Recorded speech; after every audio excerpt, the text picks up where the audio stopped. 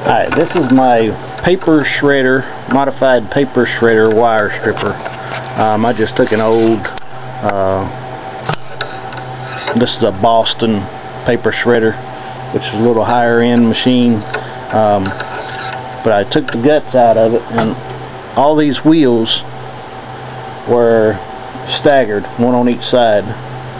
And then they had these black spacers in between. So what I did, I just took the shafts apart and I slid all the wheels off and I put all the wheels on one side. And this side I put, I actually got a piece of pipe for right now. It's just a piece of copper pipe. Um, so I put it on the other shaft. So, and then I attached the shaft, the drive shaft with the wheels on it to a hand drill. So now all you need to do is just start your drill, feed your wire through, and it will strip your wire like so.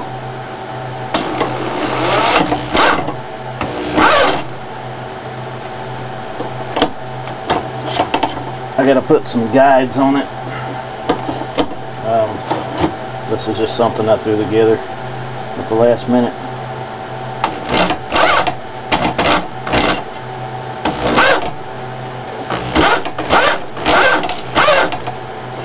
This is 14 gauge solid wire that I'm feeding through it.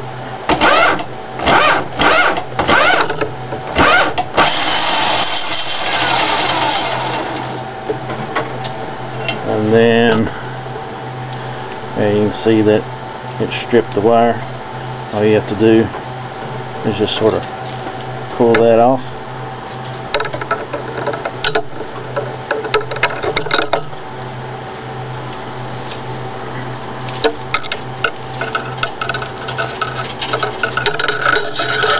And right there's your insulation, insulation.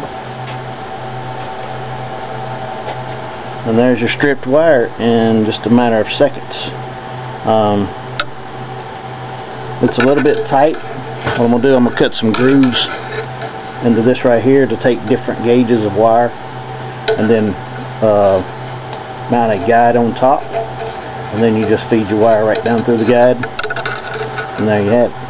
I picked this up at a, like a yard sale, little or nothing. And there you have your wire stripper. Thanks.